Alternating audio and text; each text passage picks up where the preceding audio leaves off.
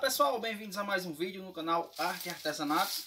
Vou mostrar para vocês aqui hoje um pouco da nossa produção de vassouras de garrafa PET e como a gente faz para cortar as nossas vassouras de garrafa PET.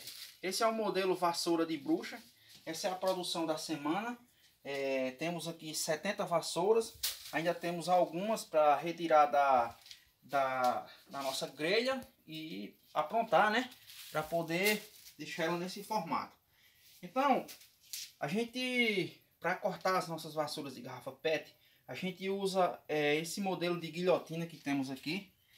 Essa guilhotina, ela é totalmente artesanal, ela é feita com tesourão de jardinagem. É, trabalhei bastante tempo com guilhotinas em uma em uma metalúrgica e já ia comprar uma guilhotina daquelas profissionais, né? Que custava algo em torno de 450 reais, tem dela até de 600 reais.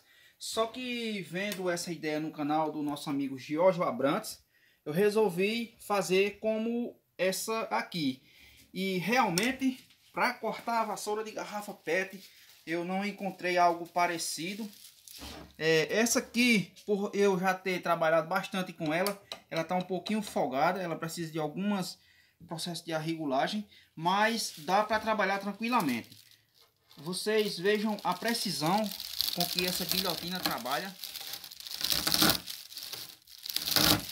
Eu já sei como que é o processo de uma guilhotina profissional e resolvi fazer assim porque aquelas facas da guilhotina profissional quando cega é um Deus nos acuda para poder amolar. Então para o nosso trabalho aqui pessoal, você que faz vassouras de garrafa PET, tranquilamente e absolutamente você vai ter uma boa eficácia na sua vassoura.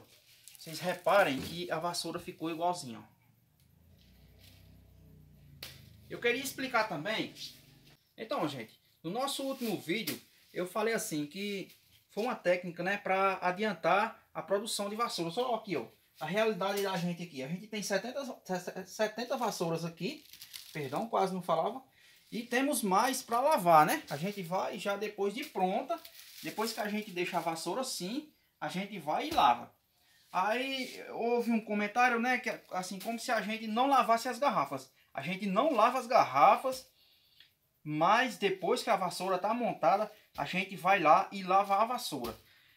Tem umas garrafas que a gente lava sim, que são as garrafas que vem pra gente, é, daquelas pessoas que usam leite de gado, né? Pra, pra poder vender. Aí essas garrafas vêm com uma, uma, um odor muito forte.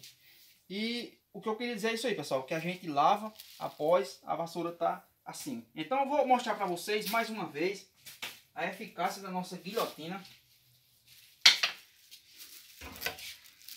Mostrar para vocês Isso aqui é surpreendente, pessoal. Para quem ia gastar 450 reais para comprar uma guilhotina para cortar minhas vassouras de garrafa PET, poder com 35 reais na época que eu comprei essa daqui.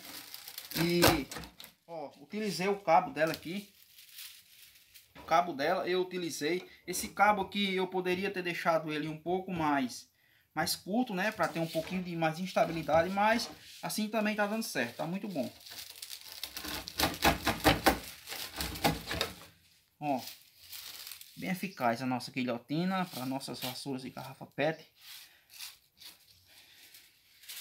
Assim, ó, perfeita, igualzinha.